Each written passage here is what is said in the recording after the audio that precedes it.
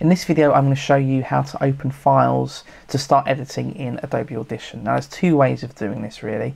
The first one is common to all applications that you find.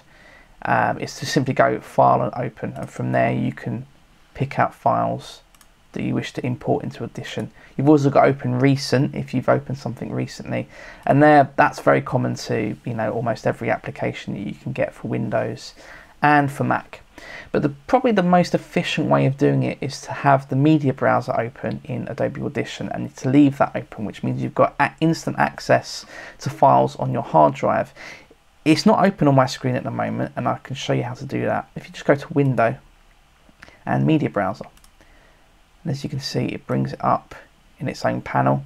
Sometimes it will put it in the dock up here but if you watched my last video on customizing your workspace, you know that you can very easily undock or move it around to suit your own workflow. So let's open this up here. Now, as you can see, um, we have our navigation to different parts of the computer here, and we also have the list of files. Now, if you have a look, we've got different columns, and this is much like the column view in Finder in OS X and like when you're browsing files in Windows it tells you quite a lot of information about each file. It, for example, its duration or the type of file that it is.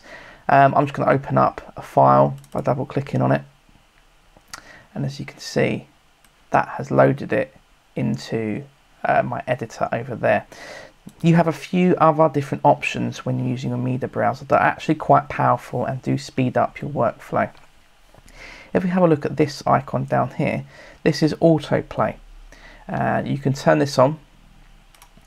And when I do from now on whenever I play a file it will start playing. Now my sound's turned off so you won't hear it but believe me it does work and you can see the timer going there. You can just simply press stop if you want to do that. You don't have to have that on.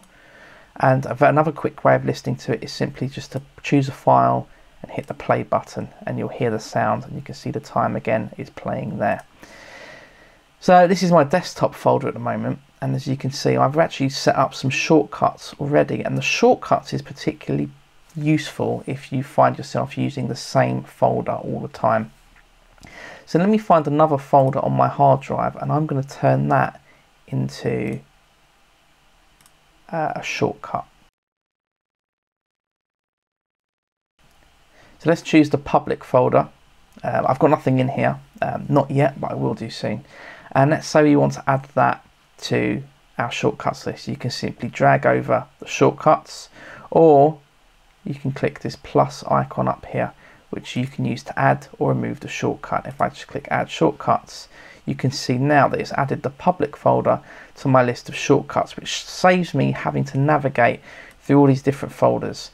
So if you have particular files or drives that you're frequently using I definitely recommend adding those to your shortcut. And that's it. That's how you can um, very quickly open up files using Adobe Audition and how to make it quicker in the long run by me using that media browser and setting up some shortcuts.